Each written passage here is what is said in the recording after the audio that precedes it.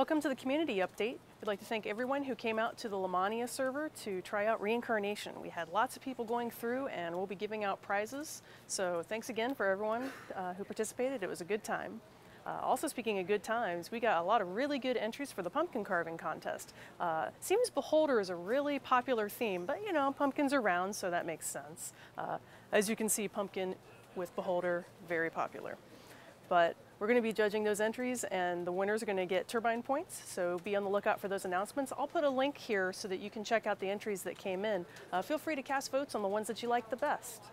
So update 20 is right around the corner.